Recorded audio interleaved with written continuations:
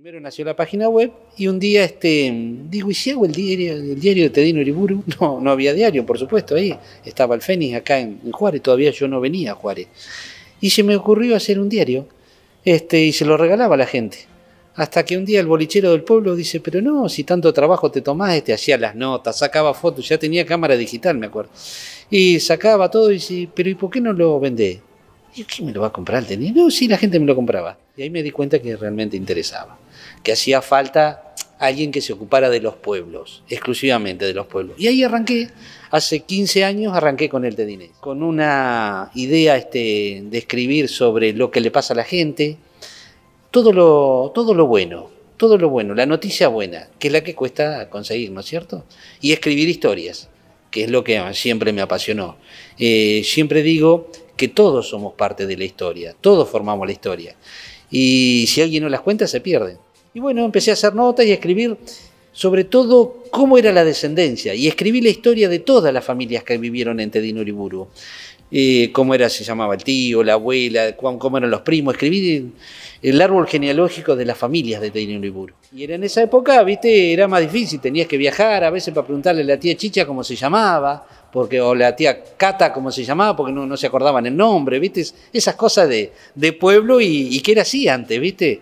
Este, bueno, y a mí me encantaba, ¿viste? charlar con la gente y la gente me recibía. Cuando llego a Tedín Uriburu, este, la misma gente, porque fui a la gente más, siempre me mandaron a la gente mayor del pueblo, oh, me dice, usted sabe que yo me acuerdo. Oh, digo, pero la misma historia que me contaron a mí, le digo, eran ciertos, yo quería que eran exageradas, pero eran ciertos, esas historias camperas de antes, ¿no es cierto?, que pasaban en los pequeños pueblos y en la zona rural y cuando hacían las fiestas y todo y sí, eran reales las fiestas. Yo creí que la verdad que cuando ya me había hecho grande creí que era mentira esa, esas cosas que me contaba. No, no, no eran ciertas, e-, eran lindas historias. Este. Esas historias me cambiaron la vida, amigo. O sea, de tanto escuchar esas historias, yo me hice un historiador. Una fiesta de un primero de mayo, había hecho un montón de diarios y se suspendió. Y me fui a chillar.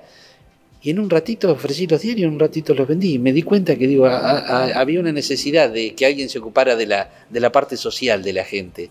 Y ahí empecé, fui a chillar, después me vine a Juárez, fui a Paula Costa, Azul lo dejé para el último, y bueno, una cosa fue trayendo la otra, fue trayendo la otra, me empezaron a invitar a las fiestas familiares, este, me enteraba de la fiesta de los pueblos, empecé a ir, y cuando quise acordar, este, fue pasando el tiempo, y hoy en día recorro tres partidos, Azul, Olavarría y Benito Juárez.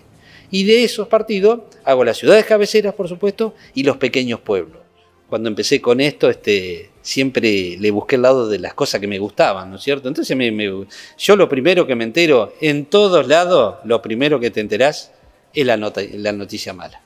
Siempre te, te, enterás del accidente, de la persona que falleció, de que pasó y tal y tal cosa. Y no me gustaba a mí. A mí me gustaba escribir las historias lindas, lindas de la gente. Y bueno, eso se, es un arduo trabajo, ¿no es cierto? Porque cuesta encontrarla, pero siempre me, mantuve en eso. En Tedín hace muchos años vinieron una empresa, un montón de gente que se decían que era una empresa, vinieron a robar la vía, ¿no es cierto? Vinieron a robar y la empezaron a levantar hace muchos años. Y a mí me llaman por teléfono un, muchacho ahí de la, de la, del pueblo, y entonces me hago presente yo y le hago la nota. Como nunca pasaba nada, quería saber qué estaba pasando. Y ellos me cuentan, y me cuentan, ¿y yo qué hago? Me voy a Sur, donde vivo, me voy al juzgado federal, que no te atienden, por supuesto, pero daba la casualidad que el juez había sido profesor mío del colegio, me atiende y voy y le cuento, y me dice, pero la están robando la vida, dice. Lo que usted diga, le digo, yo le digo lo que está pasando en Tedín. Y a los 10 minutos se terminó el, este, con una llamada telefónica del juez, se terminó el levantamiento de la vía, ¿no es cierto? Esa es la única vez que escribí algo, creo que escribí algo, viste, fuerte, que lo hice por la página de internet primero, porque lo era lo más. Y ahí se sumó mucha gente y mucha gente, uno llamó al amigo, el otro llamó al amigo, era un montón de, me llamaron del diario La Nación, de la prensa, de, todos lados. Era un caso único que los agarraron en, pleno, en plena tarea de llevándose la vía. Una vuelta, una señora me cuenta en Tedín de que había una, una familia que se había ido con el circo. Pasó un circo, se fueron y no la vieron nunca más. Y yo siempre digo que tengo suerte pasaron los, los años y encuentro el circo. encuentro el circo que estaba en azul. Paso y pregunto, digo, ¿acá no vive la familia tal y tal en este circo? Son los dueños, me dicen. El domingo a la mañana voy a golpear las manos al circo. Y le digo, pregunto ahí, y este, sí señor, dice, yo soy la dueña del circo, me dice, y mi esposo dice.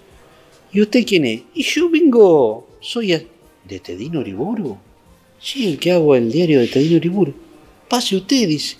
Despertaron a todo el circo eh, prepararon, este, trajeron factura, mate, café, una fiesta hicieron. Habían pasado varias generaciones. Esta era la hija, de la, hija y la nieta de los que se vienen con el circo, de la gente que se vino con el circo.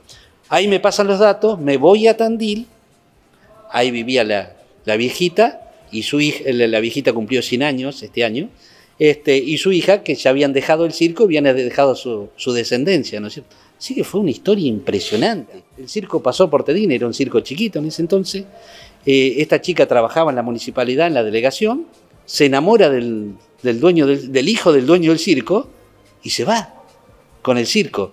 Y a los pocos meses viene a buscar a la madre, que era viuda, y al hermano, y se van todos con el circo y no vuelven nunca más a la ciudad. Y se van a recorrer la Argentina, ¿no es cierto? Bueno, esas cosas, este, que bueno, eh, una linda historia, ¿no es cierto? Yo empecé al revés de todo, yo empecé como digital, o sea, yo empecé con la página de internet, hasta que un día se me ocurrió hacer el diario.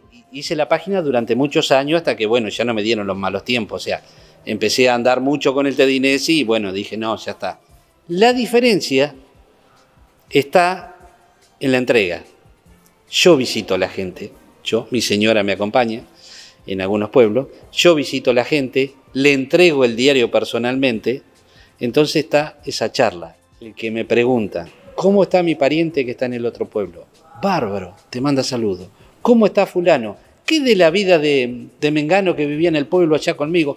Le llevo el diario, vive en tal lado. Esa es la diferencia del Tedinés.